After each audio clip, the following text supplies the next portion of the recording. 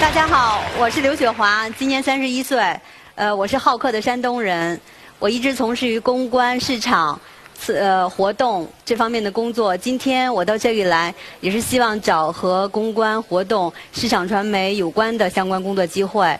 嗯，有一点遗憾，我没有很好的学历，但是我觉得在机会面前，人人都是平等的。因为我一直我曾经效力于中国最好的公关公司，我对我自己的要求就是用心尽力。我希望今天的各位能够支持我，谢谢你们。好，欢迎雪华。你刚才说到你有什么特别让人羡慕的工作经历，是指的什么？曾经效力于中国最好的公关公司。什么公司啊？蓝色光标，在我心中是最好的。有名吗？惠普？说蓝色光标是全国最好的，出去以后播出去会被其他公关公司骂，会打死的啊！应该算是中国一流的公关公司啊，在我心目当中是最好的，是是是对，叫蓝色光标，对啊。那你在那个公司做什么？呃，我一直我一开始是做普通的客户经理，嗯，呃，做了两年之后被公司提升为这个部门的经理，嗯嗯。这份工作做了多久？做了四年零一个月。为什么不做了呢？呃，因为当时我有了宝宝。然后就是血压偏低，在办公室晕倒了三次，就是反应的很厉害。嗯。所以经过考虑，我觉得辞职是对公，就是不想再拖累公司，也不想让家人太担心，所以我不得已离开最喜欢的工作。就你是回家接着待产，嗯，然后生孩子。对。呃，生完孩子之后，现在孩子多大了？现在孩子两岁半。两岁半。嗯。这两岁半就这这两年。半将近三年的时间就一直都没有工作。嗯，宝宝五个月的时候，我开了淘宝店，就是卖对卖小孩的衣服用品。你现在自己在家经营淘宝店，对呀，对，开的也不错吗？流水有多少？就是换季的时候有五万的流水。挣多少呢？百分之三十左右，百分之三十五万，百分之三十也一个月挣一万五了，对，也还不错吗？为什么要出来找工作？我经营的是一个品牌，嗯，现在随着这个品牌的这个就是成长性，它现在对网络销售有一定的要求，就是会经常会断货。明白了，对。所以虽然你们会不爱听，但是我还是得说，淘宝店做倒了。对对对，是是是。是。今天想找一个什么样的工作？呃，我想找还是和就是活动，呃，活动策划，对这方面的相关的好，这就是刘雪华。大家对刘雪华有一个初步的印象和认识。人生的不同阶段在做不同的工作，现在到了人生阶段转轨的时候了，对不对？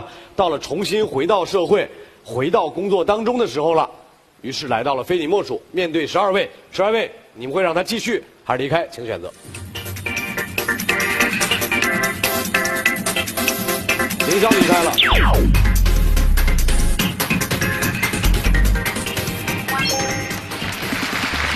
还有十一位，你要证明天生我有才。这里面的天生我有才呢，是因为有一些照片哈，对，就是他自己因为做淘宝店嘛。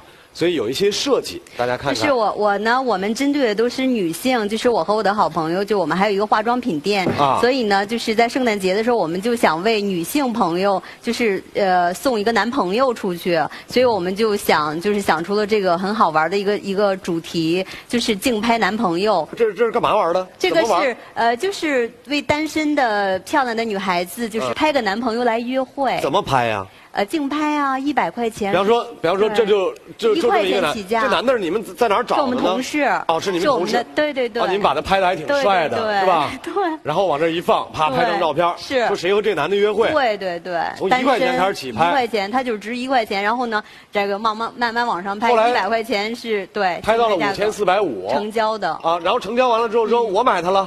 你买到了之后，这个就来北京和他约会。那机票钱谁掏？机票钱男朋友掏。酒店的钱谁掏？男朋友掏。男朋友掏。对，烛光晚餐的钱男朋友掏。烛光晚餐也是男朋友掏。神秘礼物男朋友送。基本上这五千四百五就都折这个了呗。不够，还有北京一日游呢。啊，还有北京一日游。对，最后有多少人参加这个活动？七十人。有七十个人，从一块最后拍到了五千四百五。对对对对。那效果也还不错。嗯，拍他成功的这个女孩是二十三岁。啊。嗯。在哪里？在北京吗？还是其他城市？不是在北京。其他城市。对，是。那那那天圣诞夜真的飞过来了真的飞过来了。哦。真的飞过来了，真的过过了这个呃很浪漫的圣诞。明年你把我拍了呗？可以啊，但是我觉得如果那。拍三百块，你你同意吗？可以啊，没问题啊。行测试一下，说有人多少钱买我过一宿，好不好？三百。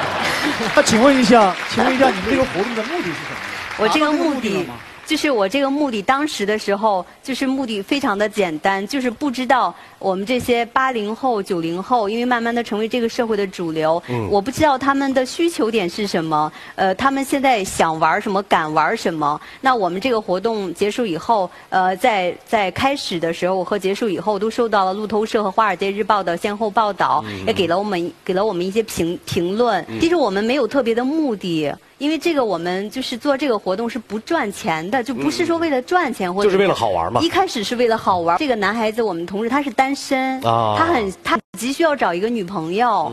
那他呢，就是说，哪怕是一块钱拍卖成功了，他也愿意，比如说来来就是履行这个承诺。明白了。那可是后来关注的人越来越多，没想到这个事没有想到越做越就是好玩哎，是吧？没有想到那我还想问一下好来我还想问一下，因为你们不是一家、不是一家公司或者机构吧，对。你们是个人的行为。嗯。嗯。因为这个是这个策划的话，有可能有很大的风险。嗯最后的结果可能跟你们设设计的可能会完全不一样。嗯甚至很危险。嗯嗯这个你们有预见到吗？嗯我们有一个最保底的，就是如果出现了不可控的场面，我们最后下架。其实他这活动一点风险都没有，一旦出现风险，最后一个人拍的是他。不是，如果拍卖已经结束，在最后的这个见面的过程当中拍卖结束了，有人出了一万买这男的了，不是了，就就失控了。满十八周岁了，这个我们让他们自行解决。哦对，十八岁以后自行解决，概不负责。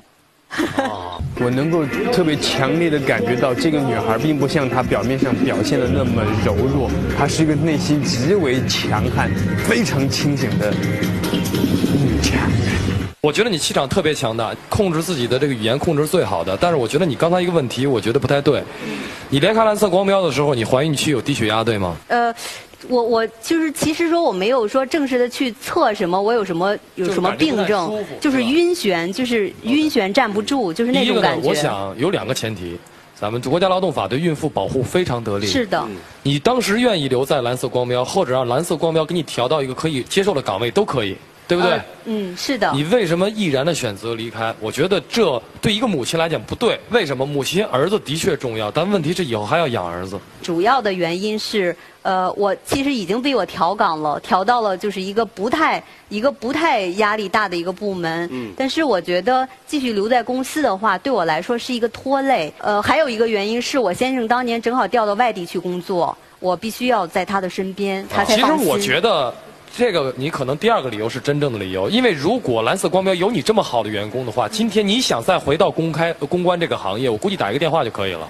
是的，我昨天和我的前任老板也通过电话，我那你为是什么不回去通电话的原因是我告诉他，对我第二个问题哦，你说为什么不回去好。你为什呃么不回去？我不回去的原因是因为呃，公关公司属于乙方。那因为我在乙方，就是等于是说工作了很久了，想到甲方，想到企业这边来感受一些，呃，感受一下就是甲方的氛围。常年给哎人服务，太想当大爷了。我跟是吧邵刚哎一句话评价，他是我目前见过的面试者里想自己的问题想的最清楚的一个求职者。是？吗？对，为什么？说句心里话，就是说一个母亲淘宝店快开不下去了，儿子在那儿正长身体的时候，一帮人说蓝色光标老总在打个电话说回去吧，咱回去。他就是不想做乙方了，这老做公关的想知道做主控方、做甲方、乙方、甲方都做过的市场人员，是目前市场体系里最缺的人。好，谢谢所以他想的非常清楚谢谢惠普。现在还有十一位，大家决定，啊、是让刘雪华继续还是离开？各位，这是你们最后一次的决定权。如果你们让他留下，并且有超过两家，那么决定权将转移到刘雪华身上，请选择。惠普离开了，吴海离开了，美达离开了，哇，居然张一万也离开了，为什么？因为其实刚才正如惠普说的，他个人的职业其实定位非常之清晰啊。是所以他刚才有讲到，他其实不想在乙方来做，跳到甲方。对但其实我觉得很遗憾，我们刚好其实是有这样一个高级市场主管的职位，现在是在招聘，但我们偏偏是乙方，因为我们多数的活动都是要跟客户在一起明白了开会来沟通，所以可能不满足他的整个这样的职业定位。抱歉。嗯其好，其实我惠普的你为什么？我的原因特简单，我特别喜欢他，但是问题是，这是明显的一个偏中高端的市场人才，而我提供的是一个基层的市场主管的角色，我觉得不 match，不适合，所以就灭掉了。好，现在还有六位留下，呃，六位分别说一下你们能够给提供的职位。怀哲，我们开了一个副业，叫我爱儿童团，是亲子类的团购。我们正好缺这个做策划、做推广，还要做商选择选择什么样的商户更更让妈妈喜欢的这样的，呃，就是这么一个职位。嗯好，来，呃，有这样一个职位，就是呃，银行的客户经理啊，也是日常跟银行客户打交道的这样的。和银行打交道。对，嗯，好，王刚，呃，暴风影音的市场部的 PR 经理，就是主要对我们的品牌进行宣传和那个合作媒体的外呃对接。华月，那我的可能对你的梦想有一点接近，我可以让你做甲方，因为我要延伸行业美学的一些护肤产品和彩妆产品，同样也会有发廊和媒体这样子的项目，所以说我会给股份给你，对，做你的项目。对，好，接下来慕言百合网，我们是一家给人带来幸福的这个婚恋交友网站，我们正好在招一个高级的公关经理，啊，就是这样的一个职位，我觉得比较适合你。公关经理。接下来是环球雅思教育集团张永琪先生。对我们现在呢，因为今年在美国上市之后，我们投资有一个美国的的科学教育的品牌，目前在中国有二十个店，应该在这个领域我们是 number one 的。我希望呢，你能去做负责市场营销的副总。职位都不错，但是跨的行业领域实在太多了。嗯，这个时候，雪华你要有判断力。嗯，你要至少按灭其中四家的灯。谢谢您，谢谢您，只要看到有人往那个方向走，许怀哲就会主动的健身起来。谢谢您，再见，柳文亮。谢谢您，再见，王刚。谢谢您，再见，航月。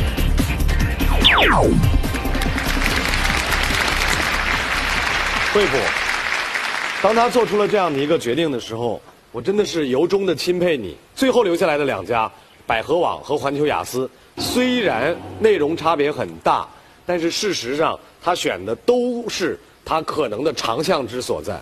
所以面对这样的下属的时候，就是你不用费尽心思他去劝他，劝也没有用，人家想得很清楚。好，你现在和这两家谈钱不伤感情。我特别想问陆岩总吧，那个就是您给的薪水大约是多少？我们这样的那个高级公关经理，他单单是有一个范围，就是在一万到一万二之间，所以具体的就是说定的这个数可能要 HR 来具体跟你沟通。然后我们是每年发十三个月的工资，还有所有的福利，啊，还要带薪的休假，就是这样。张总，张总，我给你提供大概十万年薪左右，呃，然后相关的福利啊，比如比如这个休假呀，什么这些都都有。动不动就过万，今年的翻过年之后，这个行情不错呀。十五秒钟的思考，然后告诉我们你的选择是百合网还是环球雅思。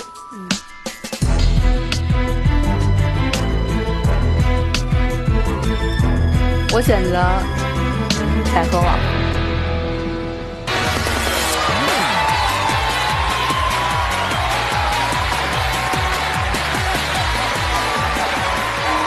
谢谢。